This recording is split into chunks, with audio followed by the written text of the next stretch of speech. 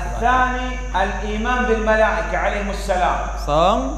รุกลอิมานที่สองครับ คือการศรัทธาต่อบรรดามาลาอิกะห์ของอัลลอฮ์ سبحانه และ تعالى نؤمن بجميع الملائكة عليهم السلام ศรัทธาต่อมาลาอิกะห์ทั้งหมดที่อัลลอฮ์ทรงสร้างมา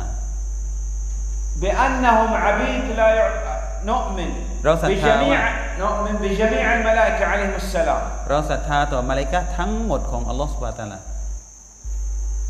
خلقهم الله سبحانه وتعالى من نور อัลลอฮ์ سبحانه และ تعالى สร้างพวกเขาเหล่านั้นมาจากนูรรัศมี يطيعون الله ولا يعصونه พวกเขาเชื่อฟังอัลลอฮ์โดยไม่ฝ่าฝืนต่อพระองค์ لهم أرواح พวกเขามีวิญญาณ